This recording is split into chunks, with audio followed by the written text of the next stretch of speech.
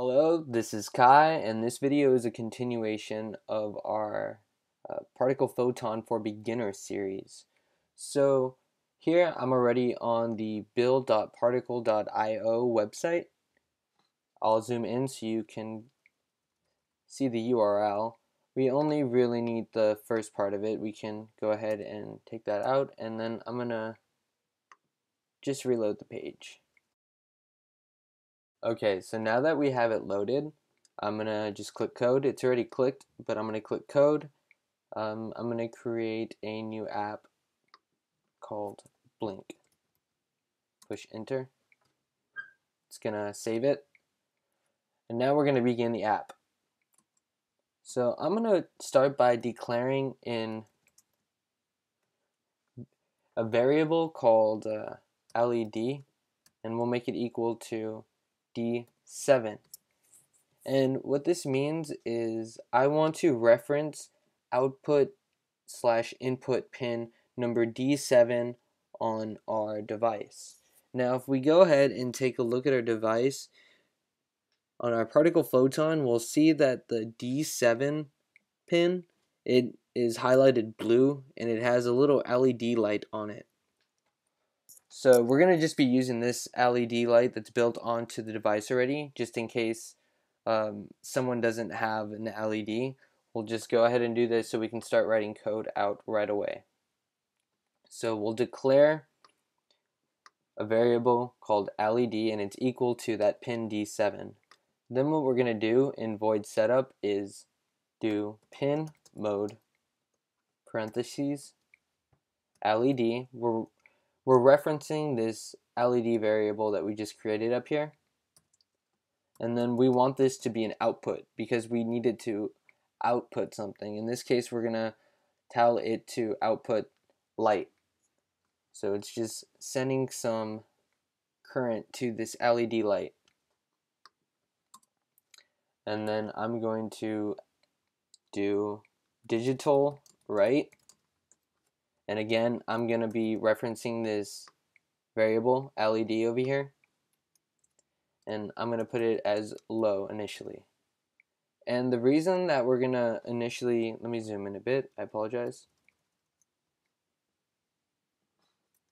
Now, the reason that we're going to be writing it as low is because by when we start up this program, we want it to be off originally we don't want the light to just be on. So what this is saying is when we set everything up, we're going to start it off by turning the LED light off. And in our loop here, this is where we're going to start turning the light on and off. So I'm going to do digital write, digital write, and in here I'm going to reference that LED again, and then I'm going to write it as high. So now I'm sending some current to that output right here. So really what we're saying right here is I'm gonna put some output to LED and LED is pin number D7 on our particle photon. And D7, if it's going to be having output, it's going to emit light out of the LED that's on it okay we'll go ahead and then do a delay. Because this is in a loop so everything that's inside of this loop is just going to be looped continuously. And if we tell it to just continuously loop writing out um, high then that means that it's just going to constantly be telling this light to be on. So there's not really a reason to loop it because we could just put we could just declare it as high or on in the setup if we wanted the light to be constantly on without turning off. But that's not our intention. What we're going to do is delay this by 1000 milliseconds or one second and then we're going to write it to be low.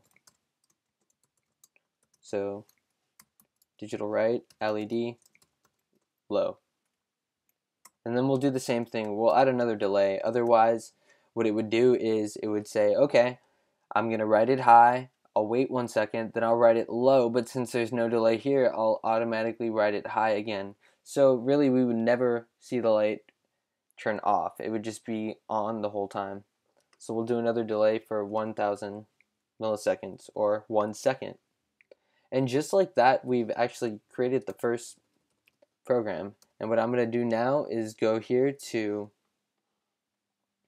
let's see, devices, and zoom in. We see right here, I have this device connected, XJ9.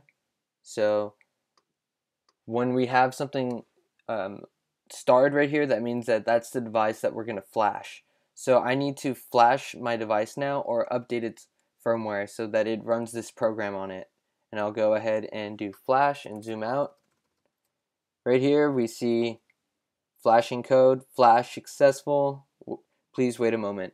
And then we'll look at our device and if our device is flashing um, blink, uh, green and then it starts you know, breathing magenta, then that means that we have successfully flashed our device. Now let's switch over to demo and I'll show you how this code works in action.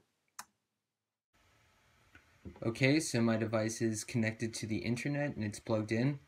Now I'm going to flash the firmware that we just wrote, flashing right now, and we're going to notice the color change very rapidly. Now we see right there, it's blinking, it's blinking more. And there, we flashed it. Now we see our LED right there at D7. High, then low. High, then low. So what this is doing when it's flashing is it's flashing, it's writing to that D7 pin to go high and then it's delaying 1000 milliseconds or 1 seconds and then it's telling it to write low. So it's turning it on and off